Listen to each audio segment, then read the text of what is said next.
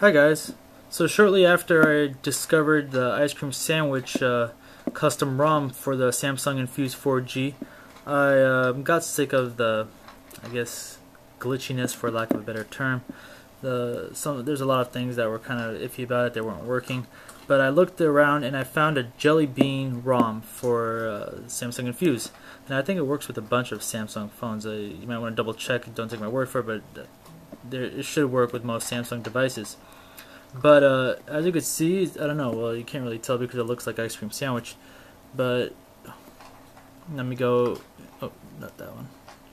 Let me go into the settings and show you that it is in fact running Jelly Bean. Um, there it is. There, ice cream Android 4.1.1.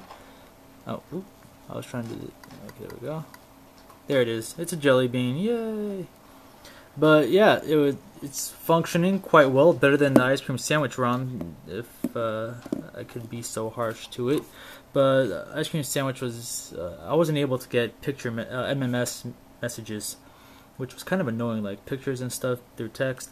Uh, I really didn't like that at all. That's that's what really got me to switch.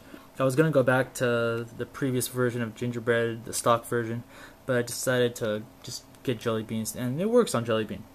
So, uh, the things that don't work with Jelly Bean on Samsung Infuse, uh, GPS, it, it, freezes up from time to time. And um, yeah, some of the ice cream sandwich features, such as the, the voice commands, they still don't work. See, I click the uh, microphone and it doesn't work, which is kind of sad, but I don't even use it, so I don't care. Um, USB mounting doesn't work, so if I plug it in, it's not going to recognize it as a USB drive. It's, it's not a big deal. I, I use my Wi-Fi to transfer files anyway. And uh, debugging may not work. The debugging option, that it says it may not work. I don't know. I don't really use it, so you guys could figure that one out for yourselves.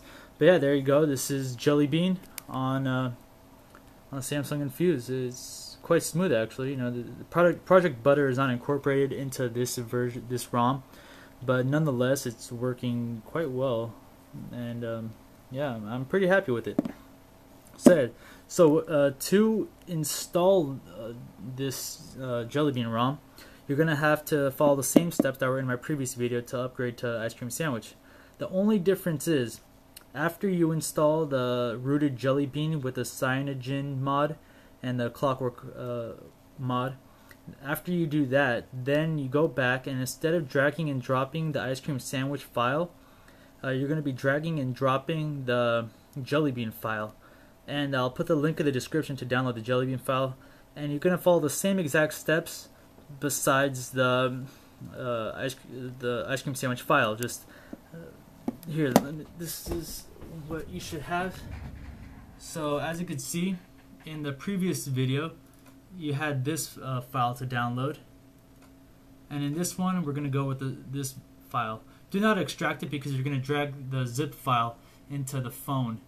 So yeah, you're going to need all. You're to need these. This is the rooted.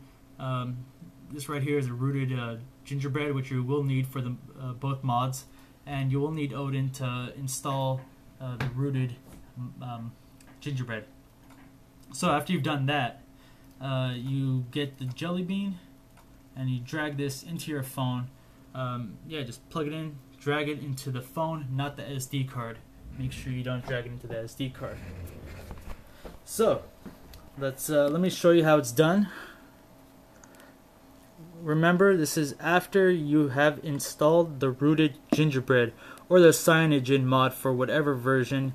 As long as you have cyanogen mod mm. and um, and excuse me um, and the clockwork mod, then you could follow these steps.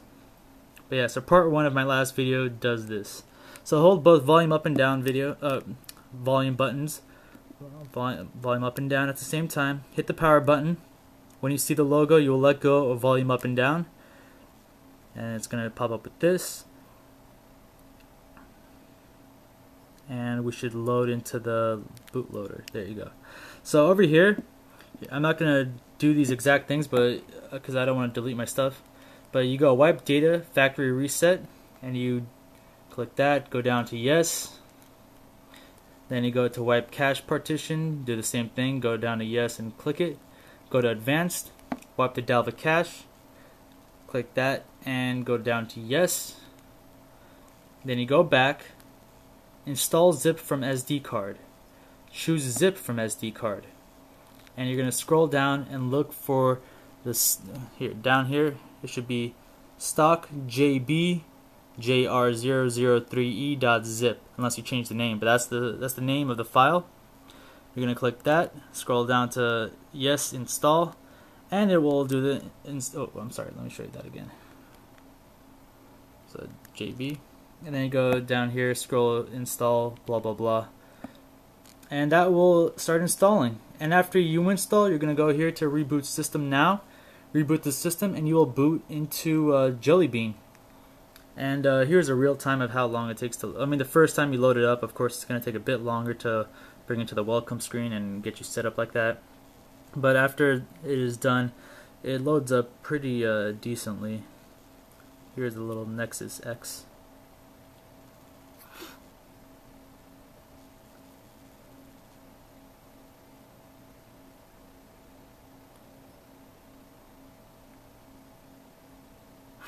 Yeah, this um, the Bluetooth works on this one, unlike Ice Cream Sandwich where it didn't work.